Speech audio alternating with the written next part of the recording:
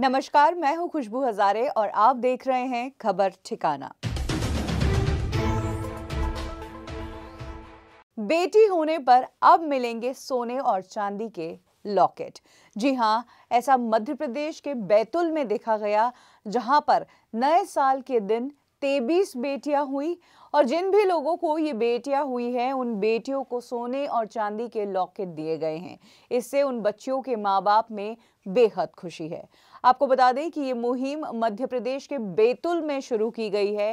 ये मुहिम इसलिए शुरू की गई है ताकि जो भेदभाव होता है लड़के और लड़की को लेकर। कई बार हमने देखा है कि लड़की पैदा होने पर जो पेरेंट्स है, वो उदास हो जाते हैं या फिर जो घर वाले हैं, सास ससुर है, वो नाराज़ हो जाते हैं कि हमारा घर का वंशज आगे कौन बढ़ाएगा, लड़का होना चाहिए। तो ऐसे में जिन लोगों को लड़की हुई या दूसरी बार भी लड़की हुई है, उन्हें बुरा न लगाने के लिए और उन्हें अच्छा महसूस करवाने के लिए कि लड़की पैदा करके आपने कुछ गलत नहीं किया है। लड़की जो है, वो अपने काम से, अपने टैलेंट से आपको आगे बढ़ाएगी।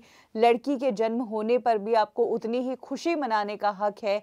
इस तरह का संदेश देते हुए मध्य प्रदेश के जनरल हॉस्पिटल में इस बार ये लॉकेट्स बांटे गए हैं। कई बार हमने देखा है कि लड़के और लड़की में फ़र्क किया जाता है और अभी भी कई लोगों की इस तरह की पिछड़ी सोच है।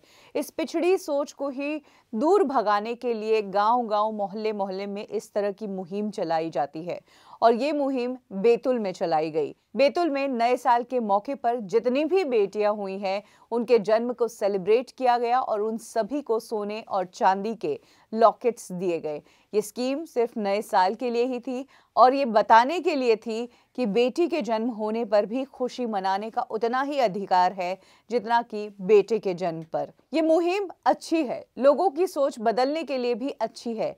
लेकिन बुरा ये सोच कर लगता है कि आज भी हमें लोगों को ये बताना पड़ रहा है कि बेटी पैदा होना कोई गलत काम नहीं है। बेटी बोझ नहीं है। ये बातें सोचकर लगता है कि वाकई में अभी भी हम बहुत चीज़ों में पीछे हैं।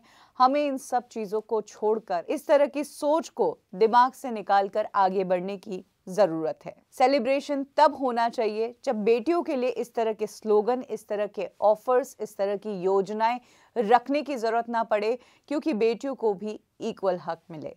क्या आपको भी ये बात सही लगती है? कमेंट सेक्शन में ज़रूर शेयर करें। खबर ठिकाना में अभी के लिए बस इतना ही। पल पल की अपडेट्स को हिंदी में जानने के लिए सब्सक्राइब ज़रूर करें हमारा चैनल खबर ठिकाना।